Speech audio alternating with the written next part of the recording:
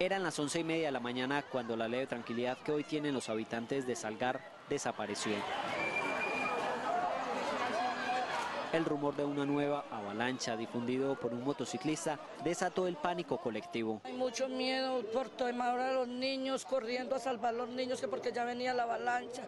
Estamos con mucho miedo en este pueblo, ya no podemos dormir seguros, ya no podemos estar bien en ninguna parte porque cuando menos piensa dice que viene una avalancha que nos va a tapar a todos. Sinceramente estamos desesperados, no sabemos qué hacer, nos queremos ir de este pueblo.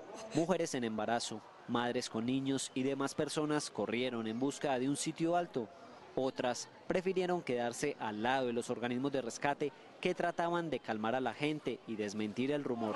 despacio, no corra! ¡Despacio, no corra! la calma, por favor! Sí, sino que la alarma de las personas, todos corriendo, entonces todos nos salimos de la casa porque nos dio mucho susto.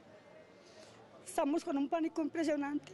Sabemos que no es posible que haya una avalancha en este momento, pues porque no ha llovido desde ayer en, la mañana. Entonces, es el llamado a la comunidad, uno, a mantener la calma, un, dos, a no hacer estas falsas especulaciones. Esto nos puede generar una emergencia adicional a la que ya tenemos.